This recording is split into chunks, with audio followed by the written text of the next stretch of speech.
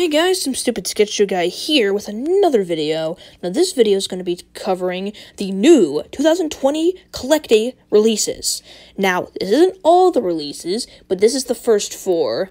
And from what I can tell, I think Collect is going to hold off on their best figures for later. Because for now, we've gotten four figures, and they're not bad. Let's start with the first one. So the first one is a Protoceratops. Now, from what I can tell, it's a 1 6 scale figure that's pushing on about a foot long and about four and a half inches in height from what Everything Dinosaur's measurements are suggesting. So I have a feeling that it's going to be quite a out of scale figure, kind of like the beast of the Mesozoic Protoceratops. And I'm not a big fan of this big figure idea. I would have rather had this be a small standard figure.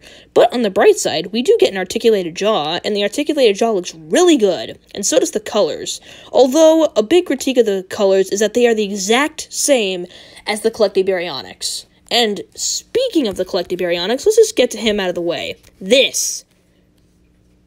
I don't like this. This is not this is not what we needed. I am perfectly fine with the CollectA Deluxe Baryonyx. So, why did we need this? This looks like one of those mini figure lines. This doesn't look like. I don't know, something like that. But now back to the bright side. So, the main herbivore they have of these four figures is the Fukuisaurus, which is meant to be deluxe, but coming from the size, it's not deluxe at all. It's about five and a half inches long. So, it's really not going to be that big. But when it comes to colors, I like this. I really do like what they have done with this dinosaur. I like the open mouth, and while the colors could also be similar to the CollectA Baryonyx, at least they're a slightly more faded shade, and they have a nice gray belly. So they're slightly different, but CollectA, please think of a new color scheme. Like, I get it. I like this color scheme, but don't use it so many times. Like, come on. Three of your four figures have the exact same color scheme. Like, come on. But on the bright side, it's not a bad color scheme. I like the polka dots and I like all this. I think it's a good figure and I might consider buying it. I probably won't though, because while it's a good figure, there are just way too many figures that I want from this year, and being such a small figure, it's gonna be unlikely that I'll get this thing as soon as it comes out, but you never know. Just know that I like it. And last but certainly not least, you have the Microraptor. Now, unfortunately, the Microraptor is going to be stuck in this pose, no articulated jaw like the Protoceratops. But the real concern is that this thing is a 1 6 scale figure, so it's going to be quite big.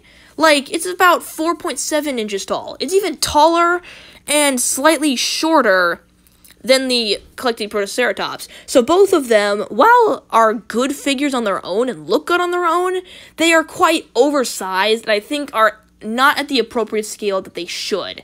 They really should have been scaled down, honestly. Because, like, the Safari Microraptor, for example, is like half the size. So I'm like, come on. Like, why did you have to resize this? Why did you have to size it to be this big? Is there really any benefit to that? No. So, I know I bring up size a lot, but I think size is honestly an important part of playability with this figure. Because no matter how good a figure is, if it's size too big or too small, it kind of just ruins the whole thing. Because then you can't compare it or play with it with other figures, you know?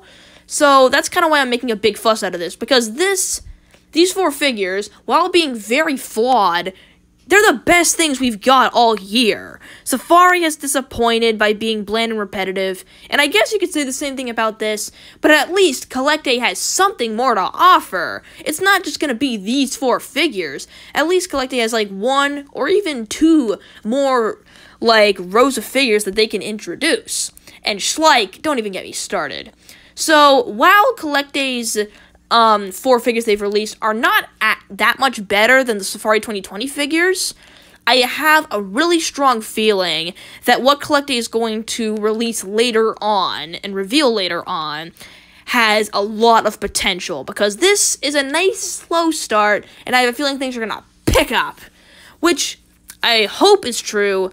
Let's just hope that they don't disappoint us because I am very scared that 2020 could be one of the worst years when it comes to dinosaur figures because Safari and Schleich has disappointed me and CollectA they haven't disappointed me yet, but this could just be a prolonged disappointment.